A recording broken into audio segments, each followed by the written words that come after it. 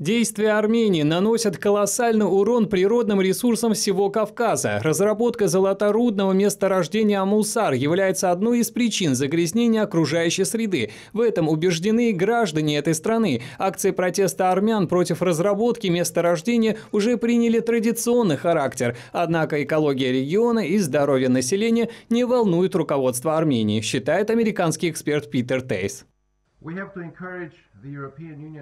Uh, Мы должны призвать Европейский Союз, а также организации по защите окружающей среды обратить внимание на разработку золоторудного месторождения Амулсар. Это угроза не только для Кавказа, но и для всей Европы.